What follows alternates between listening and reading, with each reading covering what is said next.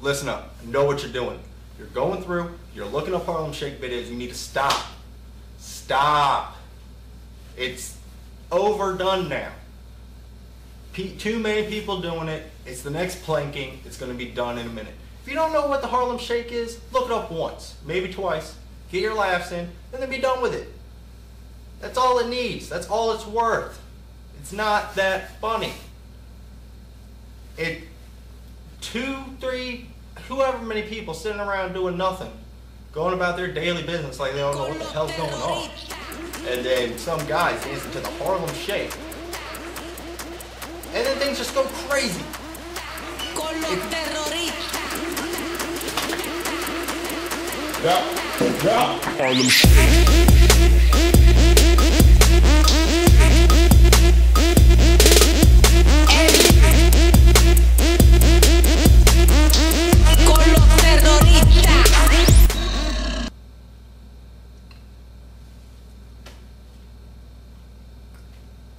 I don't even know what just happened, and I apologize for any of the shenanigans that took uh, that just took place.